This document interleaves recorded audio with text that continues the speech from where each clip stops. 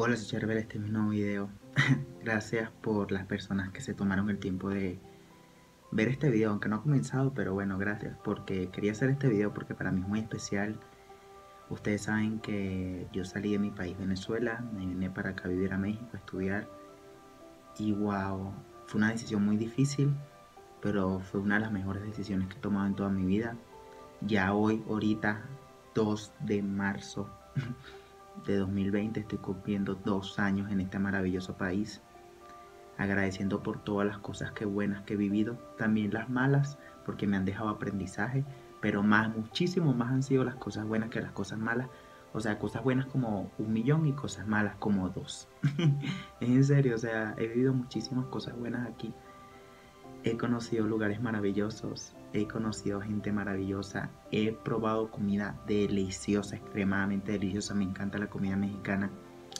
Estoy estudiando en una de las mejores escuelas del país, con profesores mexicanos, con estudiantes mexicanos y los amo, los amo a todos, o sea, no se imaginan lo afortunado que me siento de estar aquí, o sea, es como una bendición, es como que, wow, soy el más arrecho porque estoy en México estudiando una carrera universitaria con mexicanos y con profesores mexicanos, comiendo comida mexicana, todo, conociendo lugares mexicanos, o sea, me encanta México en todos los sentidos, entonces no es lo mismo que yo les diga que me gusta México porque venga de vacaciones o que me gusta México por, no sé, por, porque llegué a México ya y bueno, llegué y me encanta, no, me gusta porque como ya tengo tiempo viviendo aquí, les puedo decir que ha sido una experiencia muy grandiosa.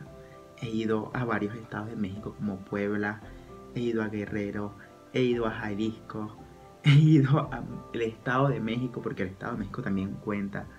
He ido también a Morelos, o sea, he ido a tantos lugares que, wow. En mi vida yo pensé que iba a viajar tanto y de paso siendo extranjero en otro país. O sea, en mi vida, yo, mi, yo nunca me imaginé que, wow, iba a viajar tanto en un país y siendo extranjero. O sea, estoy, cada vez que lo pienso me siento como que, wow, qué afortunado soy. Y además soy estudiante del Politécnico, siendo extranjero y me han recibido de maravilla. O sea, es como, es como un sueño hecho realidad. No se imaginan la felicidad que siento. Todos los días le agradezco a Dios por haberme dado esta oportunidad. Y wow, agradecerle a ustedes porque siempre han estado ahí apoyándome. Y eso es como que muy bonito, ¿saben? nunca han sentido un ataque xenofóbico o han sido xenofóbicos conmigo en la calle, no, para nada. O sea, me han tratado de maravilla, me han recibido de maravilla, y eso es como muy hermoso, o sea, eso es algo que guardo aquí, que siempre guardaré aquí. Muchísimas personas siempre me han dicho que si yo voy a dejar México, que si cuando termine la carrera me voy a ir. No, o sea, si estoy aquí es porque me quiero quedar viviendo aquí. Soy feliz estando aquí, me siento tan agradecido, tan pleno viviendo aquí. Siento que soy de aquí a pesar de ser venezolano y que amo mi país Venezuela. Me siento parte de México y wow, eso es algo que nadie me puede quitar. Pero bueno, esto es muy emocionante para mí. Este, al principio me costó, me costó muchísimo adaptarme a la cultura, a las palabras, a la comida, o sea, a todo, me costó adaptarme a todo y como que lo logré, cada día me gustaban más las cosas, o sea, me costó en el sentido de que yo de una cultura diferente, de un acento diferente, con palabras diferentes, comida diferente, todo diferente. Y wow, llegar a México es como, o sea, es como, no sé cómo, cómo les explico, fue como, no sé, llegué y me vino un contraste diferente, ¿me entiendes? Y un contraste diferente que me gustó, pero sin embargo me costó porque estaba acostumbrado a las cosas de Venezuela. Y sin embargo, no sé, creo que este proceso de adaptarme a este país, a este maravilloso país, con gente maravillosa, a pesar de todo lo que está pasando, porque yo me entero de las cosas de México, yo siempre veo las noticias de México, siempre, o sea, siempre, siempre veo las noticias, siempre me entero de todo, siempre me mantengo informado. A pesar de todo eso, yo amo este país, amo a su gente, amo su comida.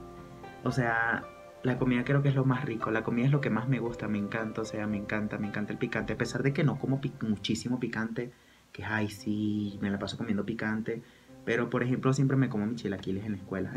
Casi que diario me encanta el picante. Me como mis tacos y le echo salsa picante cuando puedo. O sea, me encanta, me encanta. Tampoco es que lo como cada cinco segundos. Pero sí estoy tratando cada vez de acostumbrarme más de que si una comida no lleva picante, no es comida mexicana.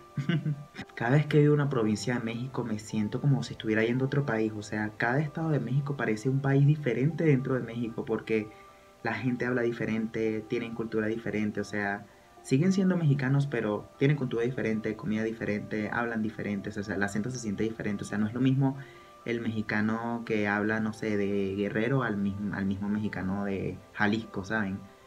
Tienen varias diferencias. Los dos son mexicanos y eso es grandioso, pero tienen varias diferencias en el mismo país y eso es maravilloso, es, gratificante notarlo y amo, lo amo, o sea, lo amo y siempre se lo digo a mis compañeros de la escuela, amo tu país, amo la escuela, amo tu comida, o sea, lo amo, lo amo, me encanta y, y no podría pasar, pensar en irme de aquí porque sé que me han dicho muchas veces te vas a ir, que cuando termines la carrera te vas a ir, solo quieres estudiar y irte, no, o sea, yo no solo estoy aquí porque estoy estudiando ingeniería química, no. Siempre había querido venir para acá porque mi mamá había venido de viaje hace muchísimos años cuando se podía.